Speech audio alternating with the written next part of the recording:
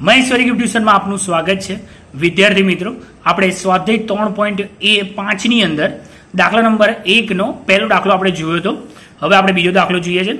સમીકરણમાં આવી રીતે આપેલું છે, બે એક્સ પ્લસ વાય બરાબર પાંચ અને ત્રણ એક્સ પ્લસ બે વાય બરાબર આઠ. આ બંને પ્લસ છે. આ બાજુ આવે એટલે બંને શું થઈ જશે? માઇનસ થઈ જશે. ની a x plus b x plus c બરાબર જીરો સાથે સરખાવતા. જો એને સરખાઈએ તો એ વન બરાબર બે આવે.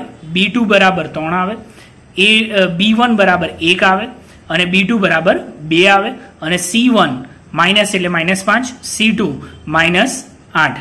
બરાબર? આ તો બધું આગળ આપણે કરેલું જ છે. આને આપણે ભાગાકારમાં મૂકીએ. A one upon a two એટલે બેના છેદમાં ત્રણ, b one upon b two એકના છેદમાં બે, c one upon c two minus પાંચના છેદમાં માઇનસ આઠ. માઇનસ માઇનસ પ્લસ થઈ જશે એટલે પાંચના છેદમાં આઠ. બરાબર? ત્રણે ત્રણની કિંમત અલગ રહે. જો એ વન અપોન એ ટુની કિંમત અલગ છે બી વન અપોન બી ટુની કિંમત અલગ છે સી વન અપોન સી ટુની કિંમત અલગ છે. જો અલગ હોય, તો સમીકરણ યુગ્મને અનન્ય ઉકેલ છે. અને જો સમીકરણ આવું આવે, તો જ તમારે ચોકડી ગુણાકારની રીત કરવાની. બાકી કરવાની કોઈ જરૂર નથી. તો આપણે એની પછીને દાખલા, એમાં જોઈએ આગળ, દાખલામાં. જો આ રીતે આપણે રકમ હતી, બરાબર? એક સાઈડ કમ્પલસરી જીરો લાવવો જ પડે. આમાં આપણે a one upon a two a one a two b one b two c one c two એ તો આપણે આગળ શોધ્યું હતું. હવે મેઇન વસ્તુ અહીંયા ચોકડી ગુણાકારની રીતમાં ગણવાની કેવી રીતે? એ ખાસ જોજો. બહુ સહેલું છે. ખાલી ગણતરીમાં પ્લસ માઇનસમાં ભૂલ ના પડે એટલું ધ્યાન રાખવાનું છે. બાકી બહુ સહેલું છે. જો અહીંયા એક્સ આ જે પહેલી કિંમત છે એક્સની આવે. તો એના સિવાયની રકમ લખવાની. શું આવે? એકના છે, એકના બે, માઇનસ પાંચ અને આઠ. તો અહીંયા આપણે એ લખ્યું. જે લખ્યું છે, આ પહેલું છે, તો પહેલું નહીં લખવાનું. એના સિવાયનું પહેલું એ છેદમાં બે અને માઇનસ પાંચના છેદમાં આઠ. હવે અહીંયા બીજું વાય બીજું છે. તો વાયનો સગુણક અહીંયા બી નહીં લખવાનો, એના સિવાયનું. માઇનસ પાંચ ને માઇનસ આઠ અને અહીંયા બેના છેદમાં ત્રણ. ખબર પડી? બરાબર? જે હોય, અહીંયા બીજું છે તો બીજું નહીં લખવાનું, એના સિવાયનું બંને લખવાનું.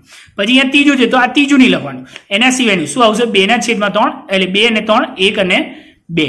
બરાબર? આ ખાલી ગોઠવણી ખબર પડી જાય તો બાકી કોઈ ચિંતા નહીં, બહુ સહેલું છે.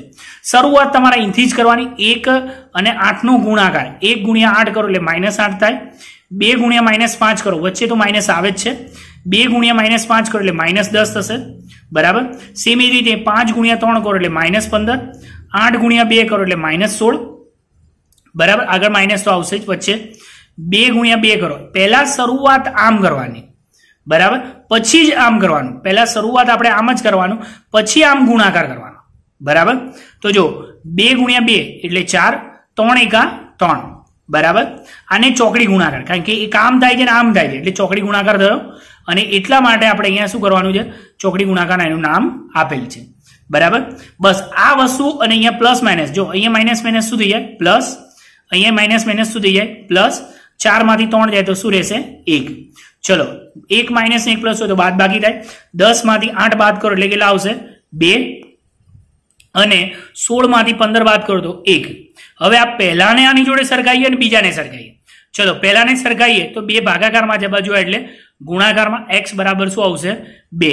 અહીંયા વાયના છેદમાં એક છે તો એને અહીંયા શું આવશે? વાય બરાબર એક. તો સમીકરણ યુગ્મનો ઉકેલ એક્સ બરાબર બે અને વાય બરાબર એક.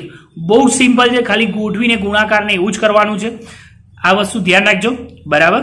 એના પછીને દાખલો જોઈએ આપણે કે ત્રણ એક્સ ઓછા પાંચ વાય બરાબર વીસ આપેલું છે અને છ એક્સ ઓછા દસ વાય બરાબર ચાલીસ છે.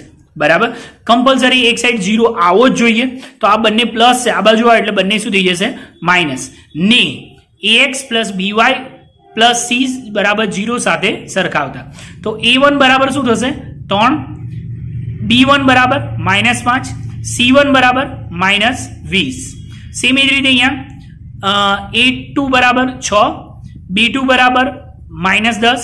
અને સી બરાબર માઇનસ ચાલીસ. બરાબર? અને આપણે ગોઠવીએ ભાગાકાર મૂકીએ a one upon a two ત્રણના છેદમાં છ. ભાગાકાર એટલે શું આવશે? એક દુત્યાંશ. B one upon b two બરાબર? માઇનસ પાંચના છેદમાં માઇનસ દસ. ભાગાકાર એટલે એક દુત્યાંશ. C one upon c two minus વીસના છેદમાં માઇનસ ચાલીસ. ભાગા કરો તો કેટલા આવશે? એક દુત્યાંશ. ત્રણે ત્રણ કિંમત સરખી આવી જો કિંમત સરખી આવી તો સમીકરણ યુગ્મનો ઉકેલ એટલે અનંત ઉકેલો છે. બરાબર? કેમ કે બંને સમીકરણ સેમ જ ગણાય. બરાબર? તો એટલા માટે ઉકેલ કેવા મળે? અનંત મળે. બરાબર? ગણીને વ્યવસ્થિત તૈયાર કરીને ફોટો મોકલવાનો રહેશે.